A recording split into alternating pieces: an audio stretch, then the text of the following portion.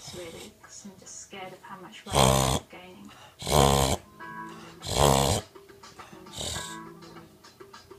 Katie and her are in back on the bed for a bargain. She's a perfect 10, but she wears a 12. Baby, keep on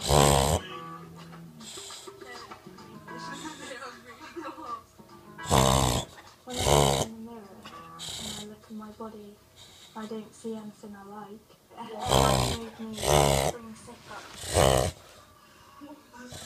just don't like what I see. Going shopping with Katie is the most frustrating thing in the world. I look at my legs, I just think they're too. And then when I look at my stomach, I could look at her and I would think, it looks absolutely gorgeous on you, what, what's wrong? But she'll point out the most stupidest things and say, oh, this bit looks fat or that bit looks fat. I like it because